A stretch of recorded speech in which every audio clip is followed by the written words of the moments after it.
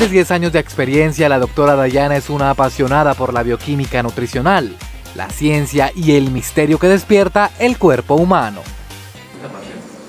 Bueno, eh, la verdad es que yo llegué a la nutrición queriendo estudiar medicina, pero mientras todo el mundo estaba em, haciendo como sus últimos años de colegio, yo me metí a un grupo de socorrismo en el cual pude estar un poquito más de cerca todos estos temas médicos, de todo este tema de servicio.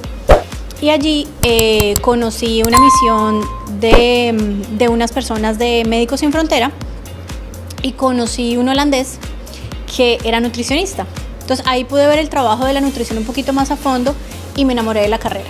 Entonces, y desde allí em, ha sido mi pasión y en su momento y con el tiempo, por fortuna, este tema ha tomado muchísima fuerza y hoy por hoy sabemos que desde la alimentación se puede hacer muchísimas cosas con el cuerpo humano y la prevención viene y la medicina del futuro van a ser los alimentos. Entonces, en la medida que me ha adentrado, no solamente como nutricionista, sino como epidemióloga también en, investigación en nutrición, me he dado cuenta que el campo de acción es muy profundo y que todavía falta muchísimo por investigar. Entonces, pues yo particularmente soy una persona muy curiosa y pues he venido abordando este tema y he venido profundizando a través del tiempo. Y bueno, cada vez más me apasiona y entre más aprendo me doy cuenta que soy muy ignorante, soy una constante estudiante y, eso es lo bonito de esto, de la investigación y de la ciencia, porque todo el tiempo es dinámica y todo el tiempo estás aprendiendo. Ha sido consultora de las Naciones Unidas y asesora científica en el desarrollo de productos nutricionales para compañías multinacionales y nacionales. Bueno, eh, la verdad es un proceso muy chévere porque es, es, muy interesante porque no solamente se conjuga la nutrición, sino que tienes que ver también asuntos regulatorios de los países. Cuando tú desarrollas un producto tienes que tener en cuenta también si el producto se va a exportar, no se va a exportar porque la regulación de cada país permite ciertos ingredientes o no. Es un campo de investigación un poquito más profunda. Si, si, si los productos pueden llegar a decir o pueden llegar a servir para la salud o no. Entonces, todo ese proceso de profundización de la alimentación como un factor o como un eje de transformación de la salud de las personas es muy interesante. Y construir productos, sobre todo cuando mm, yo también estuve en desarrollo de productos para temas gubernamentales. Entonces, para mejorar, por ejemplo, la desnutrición, cuando estuve en Naciones Unidas, para la desnutrición para ciertos países, entonces cuando tú trabajas por desarrollar un producto que va a mejorar la, desnutrición en una población puntual que es vulnerable, es supremamente enriquecedor.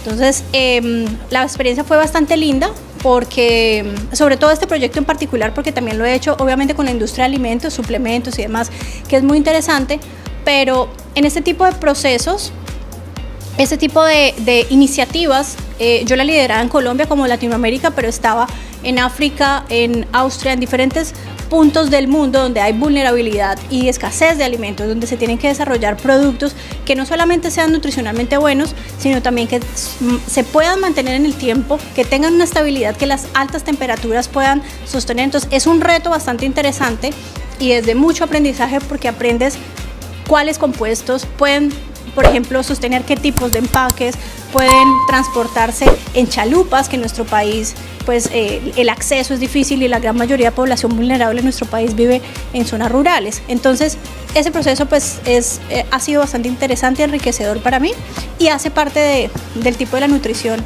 que, que pues hacemos. Además de toda esta experiencia, ha incursionado en las redes sociales dando consejos prácticos para una vida saludable. Y es que el fitness se ha convertido en un hábito de vida, para algunos saludable, para otros solo superficial.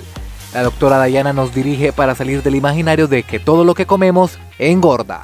Bueno, mira, una, ese es uno de los propósitos por los cuales yo decidí incursionarme en redes sociales, porque estaba un poquito cansada de, todas estas premisas alrededor de la alimentación, como es un acto tan social, un acto en el que todos nos vemos involucrados, pues todos opinamos de nuestra experiencia frente a alimentarnos. Entonces, eh, pues cualquier persona puede decir esto está bien, esto está mal, a mí me hizo bien, entonces entonces lo que a ti te hace bien, pues tú generalizas y dices, ah, pues a mí me hizo bien, pues a cualquiera le puede hacer bien. Y resulta que el cuerpo humano lamentablemente no funciona así. En la medida que va pasando el tiempo nos vamos dando cuenta que cada vez más se va a necesitar una alimentación, una nutrición mucho más especializada. Y pues en redes sociales es al igual que, em, que pues que cualquier em, comunicación, pues los titulares absolutistas, los titulares llamativos llaman la atención. Entonces, pues tener titulares y tener post Em, bastante llamativos o absolutistas o decir esto es malo, pues esto es muy llamativo, esto genera seguidores, interacciones, etcétera, etcétera. Entonces, pues por eso estas dinámicas siguen existiendo. Pero la realidad es que eh, el cuerpo humano es supremamente individual, que a cada persona le sirven cosas diferentes y que todo es bueno o malo dependiendo del contexto. ¿Cuál es el contexto? La edad, el momento de vida en el que estés, si haces actividad física o no, si te hidratas o no, si duermes bien o no, si vives estresado o no si eres hombre o mujer. Entonces, dependiendo de todo el contexto general, algo puede ser potencialmente saludable para ti o algo puede ser potencialmente negativo. Eh, pero pues eso va a depender de, de, cada persona. Entonces, por eso es que no todo el mundo tiene los, los mismos resultados. No debemos arriesgar la salud solo por vernos bellos. Es importante tener en cuenta todos los sistemas informativos para no caer en errores en temas de nutrición. Entonces yo creo que no todo se vale. Por vernos bonitos no todo se vale. Arriesgar la salud, la vida, la fertilidad, la salud mental, física. En una de las entrevistas, aquí ahí está dentro del libro, entrevistamos a, un hombre fit, a un hombre y una mujer. A un hombre fitness, la mujer dijo, yo perdí mi feminidad, yo me sentía como un hombre.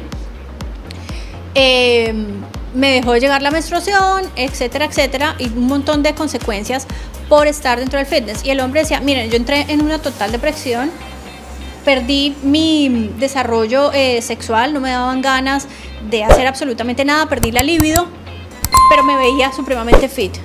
Y la persona, mi pareja, sabía que yo durante seis meses, ocho meses no iba a tener relaciones de ningún tipo porque estaba en mi proceso de depresión fitness. Entonces, imagínate. Entonces yo le pregunté, bueno, ¿y tú lo volverías a hacer?